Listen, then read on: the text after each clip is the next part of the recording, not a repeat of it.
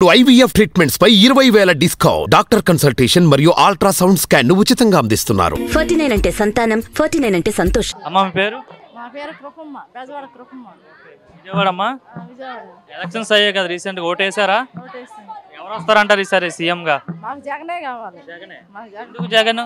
మాకు అన్ని విధాలుగా మాకు అన్ని సౌకర్యాలు చేసేది మాకు నలభై ఐదు సంవత్సరాలు మా పిల్లలకి ఆ, ఆ, మరి చదువుకోవడానికి డబ్బులు మాకు అన్ని సౌకర్యాలు మాకు జగనే చేస్తున్నాడు. అన్ని ఇళ్ళ చోట్లు ఇళ్ళు ఇల్లు కట్టించారు.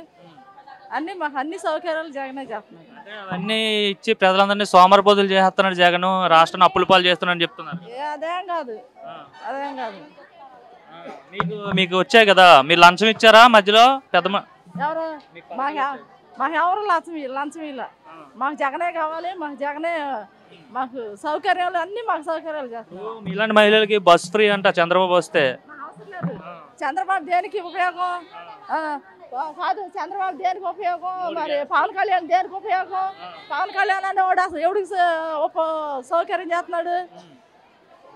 జ- అది గ్యాస్ సిలిండర్లు కూడా మూడు సంవత్సరాలు ఫ్రీ ఇస్తారంట చంద్రబాబు. నా- మాకు అవసరం లేదు అసలు. మాకు అవసరం లేదు. మాకు అవసరం లేదు. మాకు జగనే కావాలి. జగన్ ఓడేస్తాం అంటున్నారు మూడు పార్టీలు కలిసి వచ్చాయి కదా. సరే కలిసి వచ్చినా జగన్ ఏం చేయలేరు. వాళ్ళు ముగ్గురు కాదు పది మంది వచ్చినా సరే ఏం చేయలేరు. భయపడి పారిపోయాడు జగన్ అని చెప్తున్నారు. సరే పారిపోయినప్పుడు చూసుకుందాంగా. పారిపోయినప్పుడు చూసుకుందాంగా.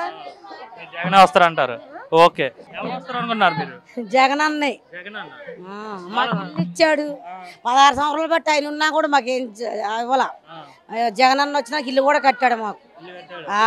ఎంత- లంచం? డబ్బులు ఎంత తీసుకున్నారు? ఐదు వేలే కట్టాం. రిజిస్ట్రేషన్ డబ్బులే కట్టారు. ఎక్స్ట్రా డబ్బులు కట్టలా. మాకు ఇంటి కూడా కట్టాడు. ఇల్లు సరిపోయిందా మీకు? సరిపోయింది. శ్మశానం కట్టుకోవడం కూడా సరిపోదని చంద్రబాబు అంటున్నాడు. అలాగే అంటారు. ఎకరం ఎకరం ఎవరు ఇచ్చేవాళ్ళు కొద్ది కొద్దిగా ఇస్తారు. ఆయన ఎంత ఇచ్చాడంటే ఇచ్చినప్పుడు? లోకేష్ అంటున్నాడు బాత్రూమ్ అంతా కూడా లేదని చెప్తున్నాడు. ఎంతైనా సరిపెట్టుకుంటే ఎంతైనా లేనుడికి అదే అదే ఎక్కువ. అంతే. జగన్ మీ అన్ని అంటున్నారు మీరు. జగన్ అన్న అంటున్నారు. వాళ్ళ సొంత చెల్లె తిడుతుంది కదా సరిమిలా. ఆ తిడతారు ఏముంది? గిట్టుబాటు లేనప్పుడు. ఎలా ఉంది? ఐదేళ్ళు జగన్ మా జగన్ పాలన? బాగానే ఉంది. అంటే అప్పుడు ఐదేళ్ళు చంద్రబాబు పాలించాడు కదా. ఐదేళ్ళకి ఈ ఐదేళ్ళకి తేడా ఏంటి? బాగానే ఉంది. గెలుస్తాడా మరి జగన్? నా గెలుస్తాడు. జగన్ అన్నే గెలుస్తాడు. అంటే మరి చంద్రబాబు పవన్ కళ్యాణ్ కలిసి వస్తా కలిసి వచ్చారు కదా. వాళ్ళే గెలుస్తారని చెప్తున్నారు అందరూ. ఏమో. దేవుడు ఎటుంటే అటే. దేవుడు ఎటు న్యాయం చేస్తే అట్టే గెలుస్తారు ఎవరైనా సరే. జగన్ సైకో అంటున్నారుగా మరి. ఏమో నాకైతే తెలియదు నీకు మంచి జరిగిందా జగన్ వల్ల? జరిగింది నాకు.